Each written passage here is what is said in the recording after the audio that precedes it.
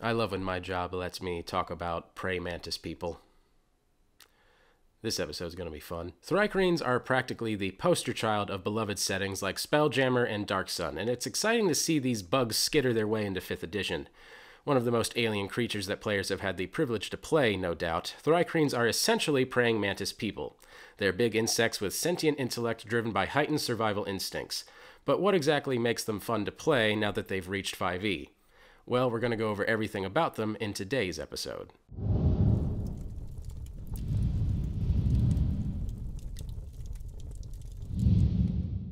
To make a Thri-Kreen, you basically have to take a praying mantis, size it up, and give it humanoid intelligence and telepathy. They have an insectoid exoskeleton that changes color for camouflage, an antenna, weird little bug mouth parts, the, the whole deal. You also get an extra set of arms, with big praying mantis claws on the bigger set of arms. Said mouth parts can't really be used for speech either, and they communicate with wiggles of their antennas and the substantial telepathic abilities they've been blessed with. They believe in survival of the fittest and are solitary most of the time, at least, making it odd for them to team up with groups, so you should probably come up with a good role playing reason for why they are in the first place. I expect that this aspect will be downplayed once we get the full 5th edition lore, but we'll see what happens. Just like all the other newly released races, the Thri-Kreen are a lineage rather than a race. This means that the ability score increases are up to you, and the selection is all about the features. Thri-Kreens have a lot going on with their features too, so let's go through all of these and just analyze what we're dealing with. Starting with your creature type, you are a monstrosity, which is pretty relevant because there are a lot of spells and abilities that only target humanoid creatures. Hold Person and Charm Person are common examples of this, and your big mantis can really just shrug them all off. As for your size, once again, we get to choose between small or medium with the Thri-Kreen, which seems to be the regular thing with the new lineages. This is doubly strange as I haven't found any small Thri-Kreen in the old edition lore, but maybe they just want to go another way with it or something. Mechanically, there's not a whole lot of difference between small and medium, so you can really just go with whatever feels best from a flavor perspective. The exception is heavy weapons if you plan on swinging something big or if you'll need to be a bigger bug again for flavor reasons. When it comes to speed, your base walking speed is 30 feet, which is nothing unique. However, their chameleon carapace is both something unique and something that I imagine a lot of people will be picking this lineage for. Here we get two big features sandwiched into one, both representing your color shifting exoskeleton. The first half is a dexterity based natural armor with a baseline of 13, just like the lizard folk. 13 plus dexterity produces a solid AC, particularly for classes that don't normally get armor. The second half is the chameleon part, which is a tad vaguer since it doesn't quantify surroundings. The strictest interpretation would force you to use an action every time you move, since you'd be in new surroundings, technically. The looser interpretation would give you the benefit of advantage on stealth rolls as long as you remain in similar surroundings, like while in the woods or in a certain room inside, etc. How your DM rules this varies its strength a ton, since it's the difference between basically permanent advantage on stealth checks to only a static bonus when you specifically have time to hide. And I can see merit to both sides of this. Now they do have dark vision, which any D&D veteran will tell you is far from a rare ability, but always a welcomed one. But I'm sure a lot of you heard me say this earlier and want me to elaborate on those secondary arms. Yes, you have two slightly smaller secondary arms below your primary pair of arms. The secondary arms function like your primary arms with these exceptions. Note that this does nothing with your actions, so you're still limited on your attacks and other things by your action and bonus action. They also smartly limited your extra hands to light weapons, and you can't use them for shields. All that said, I don't think they were quite careful enough here, and there's still ample room to make use of all your hands.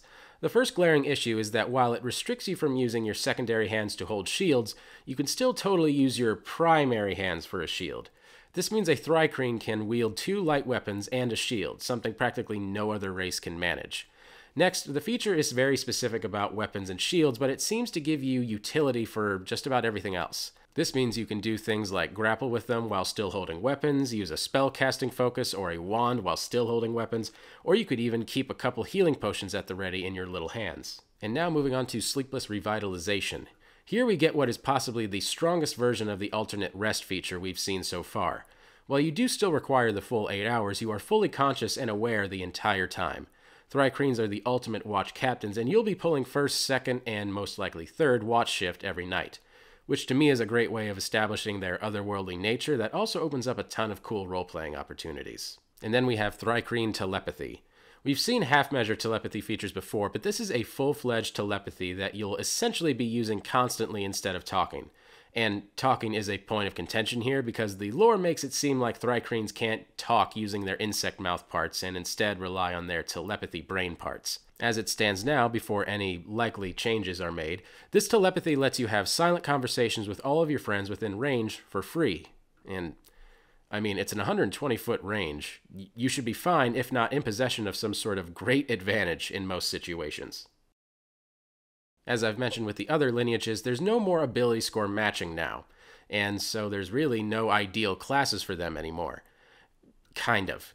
The Thri-kreen have a lot of features that really push them into particular strategies. Firstly, since the Thri-kreen gain a natural armor save based off of their dexterity, classes that focus on dexterity already that don't gain access to medium armors or other alternate AC can make great use of it.